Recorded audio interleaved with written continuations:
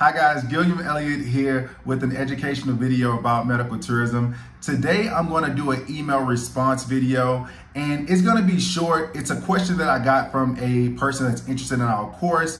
And the reason why I want to do more of these email response videos is because if you guys have similar questions, hopefully these videos can answer those questions for you. So I'm going to read the email that they sent to me. Now I am going to leave out their name and other details about them, but I do just want to get this question answered on camera so you guys can hear it and hopefully take something away from it.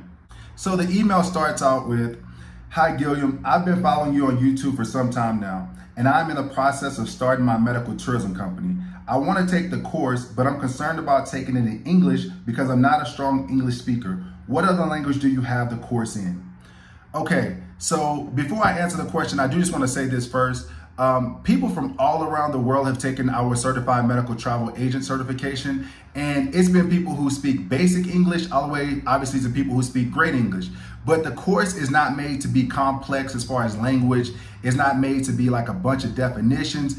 It's made so you can understand how to start a medical tourism company from scratch, from the ground up. So it takes you through the whole process of building this company and every step through the process, but it's not made to be complex and it's not complex. It's easy to follow. Each module is very straightforward. And at the end of each module, it has a quiz. And then at the end, you have a final exam. But it wasn't made to be a hard course. It was made to be an educational course. And that's exactly what it is. It wasn't made to be an extremely hard course. It's made to convey to you how to set up your company. And that's exactly what it does. And it does that in very simple and basic language that anybody can understand.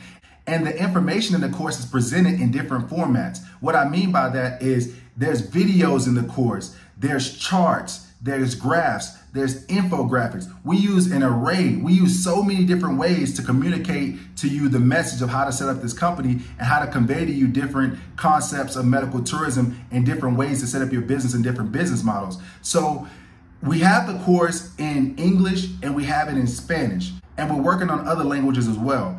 But English and Spanish is what we have right now. But if you understand how to speak basic English and how to comprehend basic English, you're gonna have no problems with this exam because it's really made to be easy to follow and convey to you how to set up a company.